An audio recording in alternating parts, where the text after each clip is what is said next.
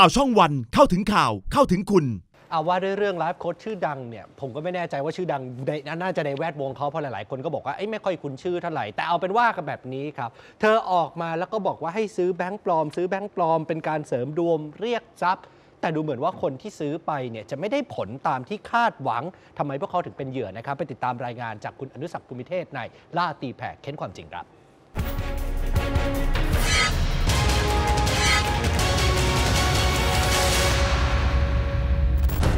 เป็นแบงค์ปลอมอะเพื่อสั่งจิตเราว่าเฮ้ย ฉันปรารถนาแบบนี้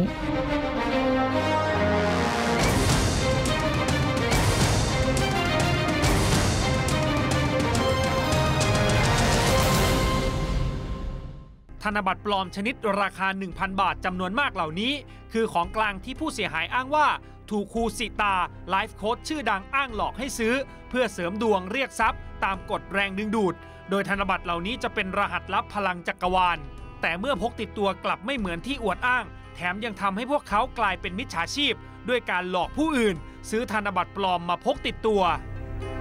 เพราะอยากรวยในเวลาอันสั้น อดีตลูกศิษย์คนนี้จึงตัดสินใจลงทุนด้วยเงินหลักแสนบาท ก่อนถูกจัดให้อยู่ในกลุ่ม VIP มีสินค้าจำหน่ายหลายรายการแต่สินค้ากลับไม่เป็นที่รู้จักและขายไม่ได้ ก่อนได้รับคำแนะนำให้เชิญชวนผู้สนใจมาลงทุนเพิ่ม เพื่อหักหัวคิว แต่ที่เขาทำอะมันหลอก แถมหลอกคนอื่นไม่พอหลอกตัวเอง และคิดว่าตัวเองเป็นคนดี พอเขาเชื่อครูแล้วศรัทธาครูแล้วครูเอาเขาไปเชื่อดโดยการที่แบบ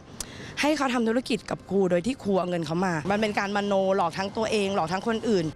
บ้านหรูย่านบางพลีจังหวัดสมุทรปราการคือสิ่งที่การันตีว่าไลฟ์โค้ชชื่อดัง ประสบความสำเร็จในชีวิต ผู้เสียหายจึงหลงเชื่ออย่างง่ายดายขณะที่แม่บ้านยืนยันว่าเจ้านายไม่ได้เป็นมิจฉาชีพ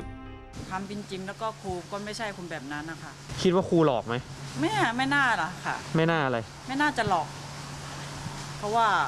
ความเป็นจริงแล้วครูก็ไม่น่าจะหลอกใครได้ขนาดนั้นไม่เชื่อว่าเขาหลอก ไม่เชื่อหรอกค่ะ นอกจากบทบาทของไลฟ์โค้ดแล้ว ครูสีตางยังเป็นเจ้าของแบรนด์ ตัวแทนเพจ ยืนยันว่าเป็นที่มาของฐานะร่ำรวย พร้อมย้ำว่าไม่ได้หลอกขายแบงค์ปลอม และขู่ฟ้องกลับบุคคลที่ทำให้เสียชื่อเสียง จริงๆ ตอนนี้กำลังทำเรื่องฟ้องร้องอยู่อะค่ะ เดี๋ยวเราจริงๆ ยังไม่อยากให้สัมภาษณ์เพราะว่าเดี๋ยวจะมีผลต่อรูปคดีของเราอะค่ะเอ่อให้ทนายจัดการค่ะ ให้ให้ทนายเป็นคนดำเนินเรื่องทั้งหมดค่ะ เราจะไม่ให้ให้การอะไรทั้งนั้น เพราะว่าจะส่งผลเสียต่อรูปคดีของเราค่ะ กฎแรงดึงดูดคือกลยุทธ์สำคัญที่ไลฟ์โค้ชชื่อดังนำมาการันตี ว่าเป็นหัวใจสำคัญของการเสริมดวงสร้างบารมี ผู้เสียหายหลายคนจึงยอมทุ่มทุน ทั้งสมัครเป็นสมาชิกและซื้อสินค้า เช่นน้ำหอมเรียกทรัพย์ กระเป๋าดักทรัพย์ ชุดนอนสั่งจิตและลิปสติก